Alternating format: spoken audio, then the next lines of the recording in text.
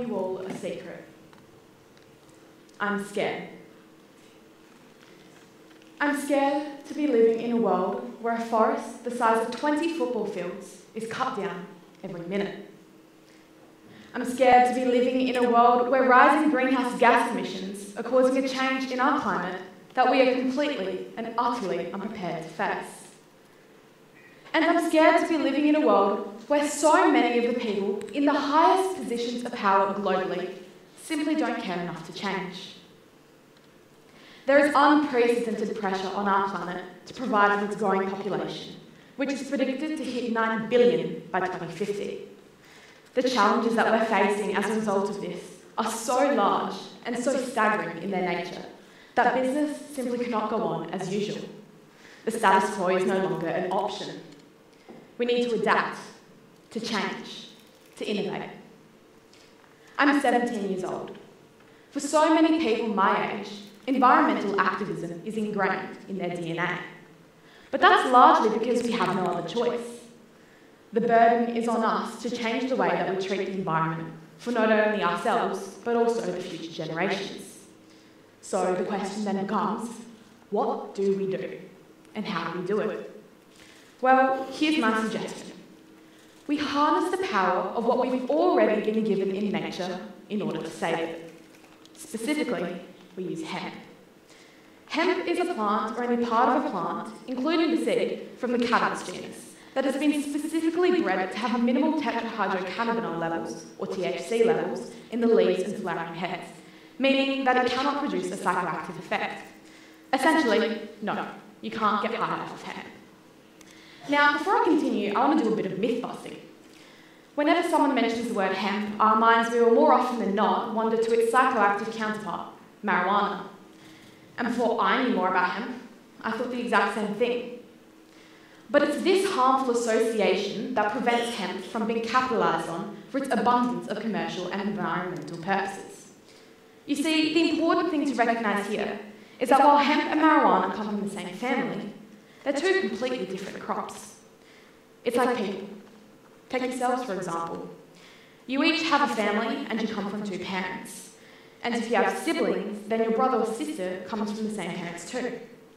But you're both completely different people with different purposes, skills, abilities. That exact same logic applies to the relationship between hemp and marijuana. Same parent, different purpose. Now, once I learned a bit more about this distinction between the two, I started researching more and more into hemp, and I was astounded with what I found. Not only could hemp be incredibly beneficial for a number of industries, in fact, it has over 25,000 commercial uses. But there was research and statistics and studies to show that hemp could have a hugely beneficial impact on our environment. But what is it exactly that makes hemp such a unique vector for climate action? Well, one of the industrial uses of hemp is as an alternative material for paper. Fun fact, some incredibly important historic texts like the Gutenberg Bible and the American Declaration of Independence, were written on hemp paper. Now, to give you all some context, when hemp is grown for fibre, it grows incredibly fast, in around three to four months, meaning that it produces a huge biomass. Now, because it matures so fast, this means that we need less land, less water, and less time to get the exact same amount of pulp that we get from traditional forestry.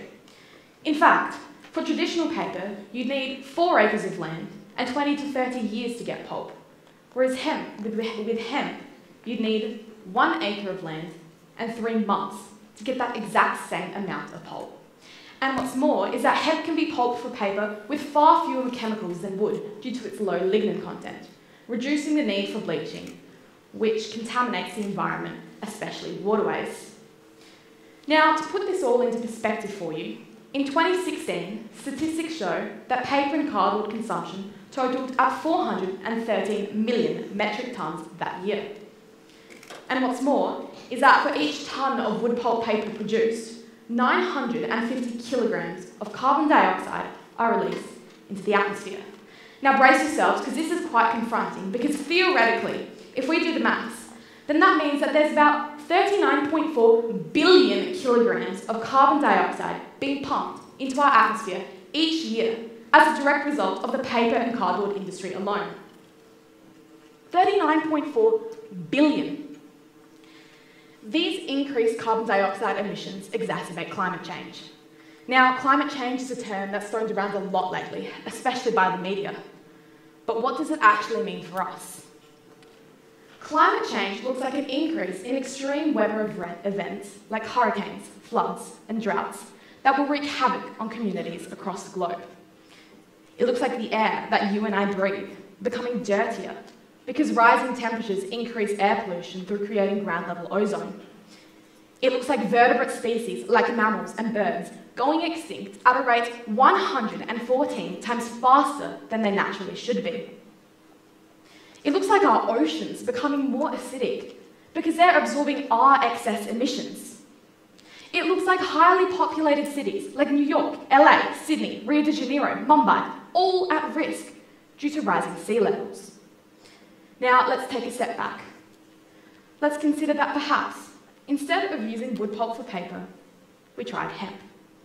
Not only would we get rid of all those carbon dioxide emissions, but given that hemp is a natural carbon sequester, we'd actually be absorbing carbon dioxide from the atmosphere, and significant amounts of it. In fact, for each tonne of hemp harvested, 1.62 tonnes of atmospheric carbon dioxide are absorbed, stored in its fibre.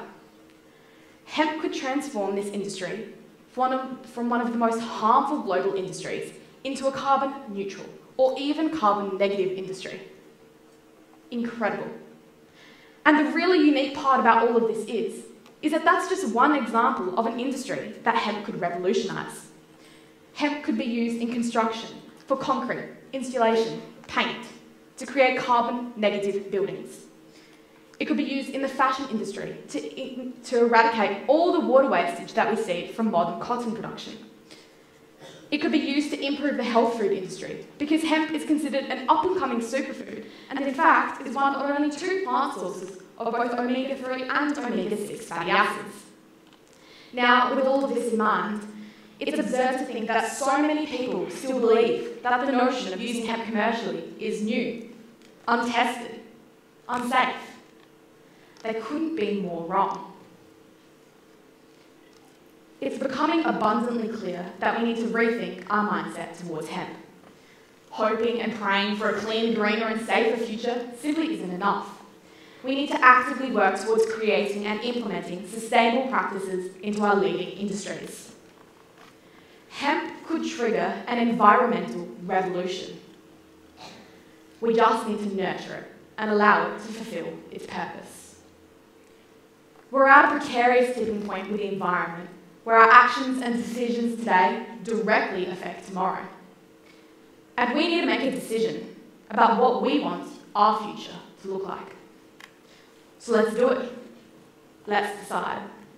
Is this the life we want to live? Is this the way we should be treating our planet?